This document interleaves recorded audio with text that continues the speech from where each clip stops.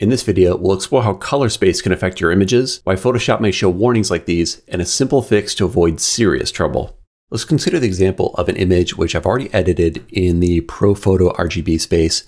And let's just say we're going to print it, but the printer prefers Adobe RGB. So you might go up to Edit, Convert to Profile, and we change from ProPhoto over to Adobe RGB. And the hope would be that when we do this, the image should be relatively unchanged so we can print the same image that we've been editing on screen.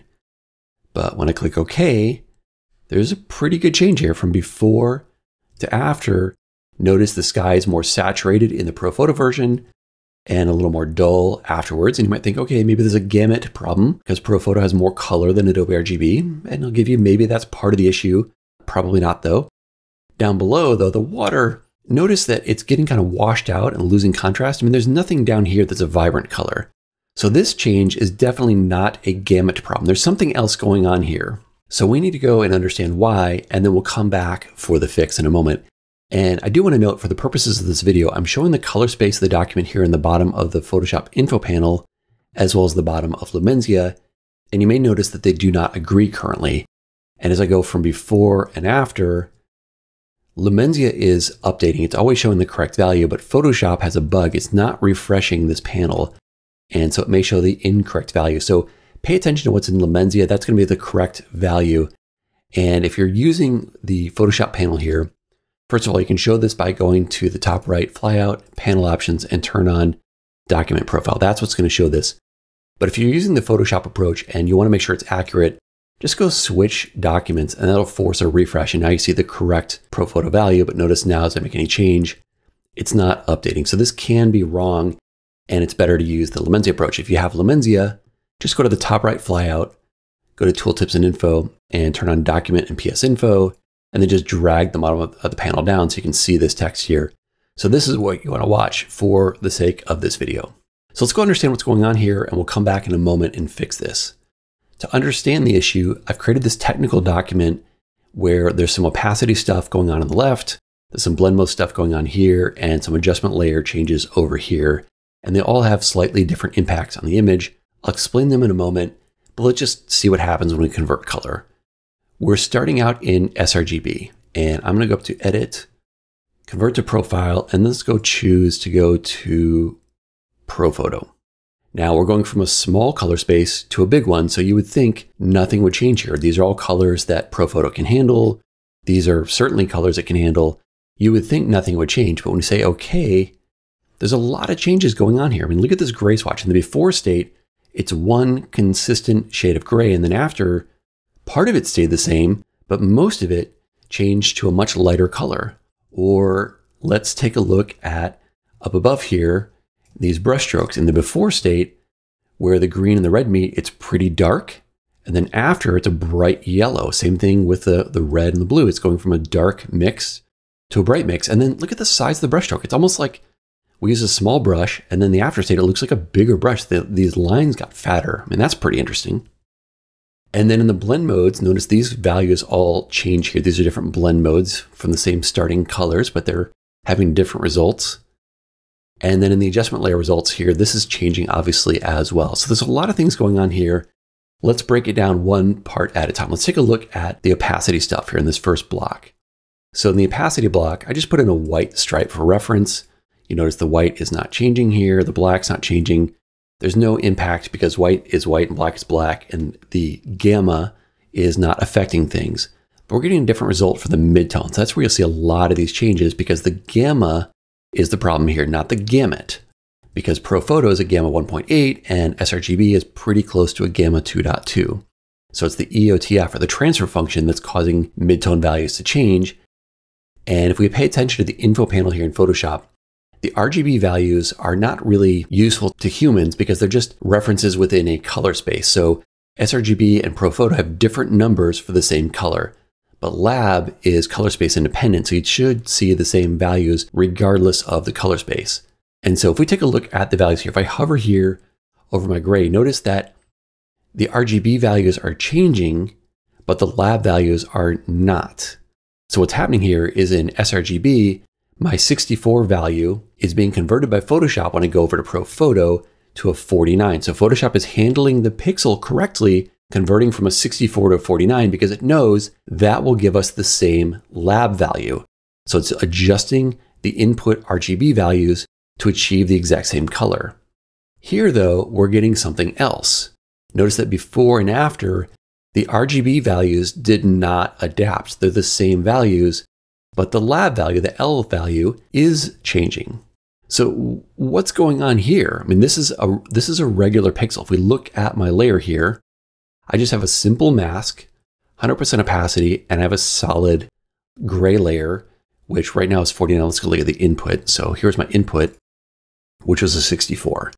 So I told it I want 64, which coincidentally is 25% of the maximum 255 white. So I've got a solid color here.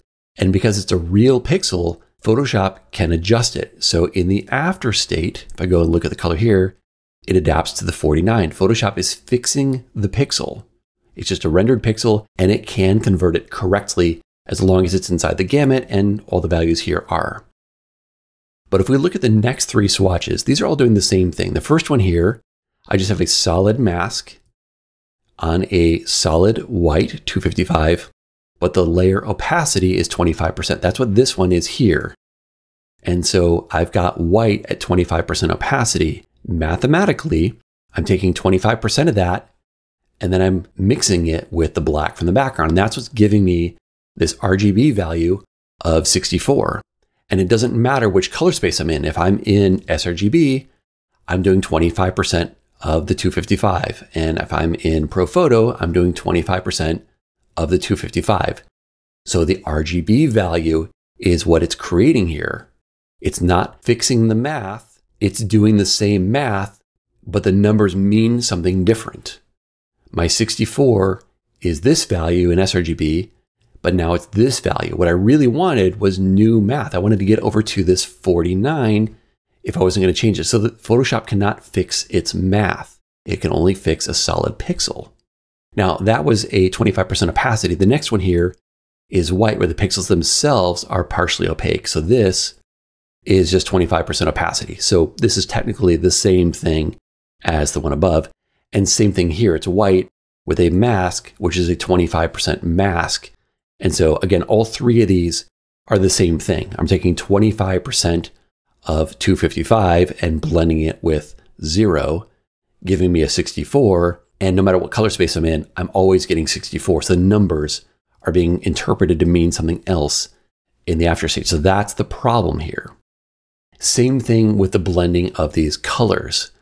Now, in this case, these colors are up here, and it is adapting these values. I mean, if I look in the before space, I've got a 255 green. In the after, the green is a different value, but it's it visually is the same thing.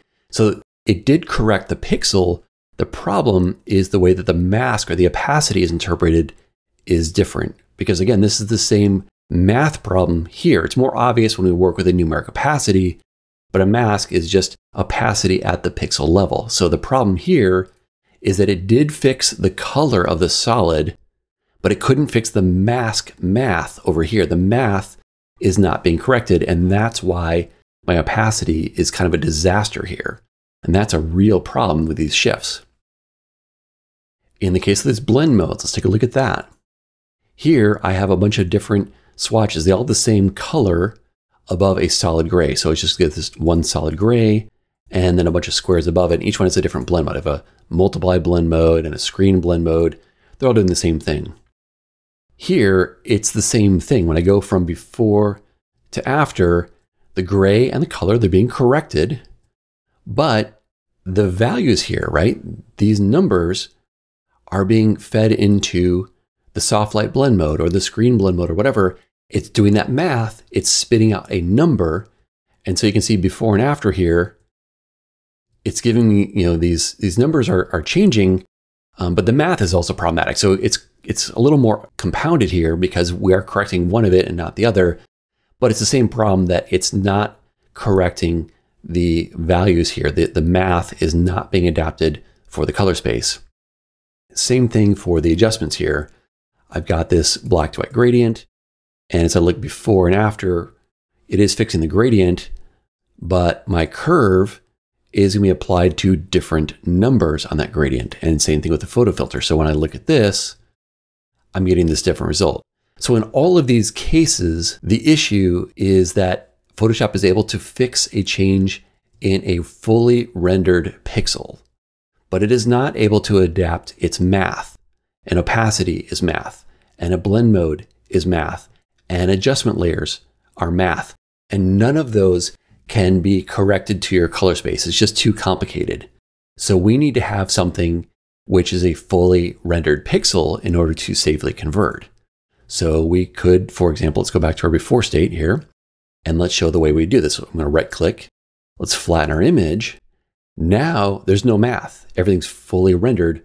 All these pixel values can be converted. So now we go up to edit, convert to profile, choose ProPhoto, no change. Before, after, no change. So the issue here is not gamut, it's the fact that we changed the numeric values because the gamma changed and the limits changed, but the math was not adaptive. Now let's go back here a second to our layered version. Now, that was one approach was flattening the image. You may or may not have heard of kind of an interesting sophisticated option. If you go up to edit, color settings, some of you I know are aware of this option to blend RGB colors using gamma. This will take out the effect of the gamma 1.8 versus 2.2 that we're seeing here. When you click this, it's going to let us use a consistent gamma. So let's put in um, 2.2 because it's really close to the value of sRGB. You can see it's not exactly the same as gamma 2.2. It's pretty close because um, sRGB does not use a gamma. It's almost this gamma. So you can see that we're kind of in the ballpark here from before to after, just a small shift. Okay, so you might think, okay, maybe that's a fix. I can just use that setting. Well, what happens when we convert color space? Now let's go up to edit, convert to profile. We'll again choose ProPhoto, say okay. Wait a sec, everything just changed. I mean, look at the outline here. We have this weird hazy thing going on here. This is changing.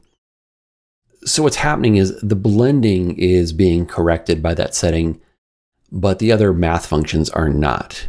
So you know, if you are aware of that setting, I would not use it under this edit color settings.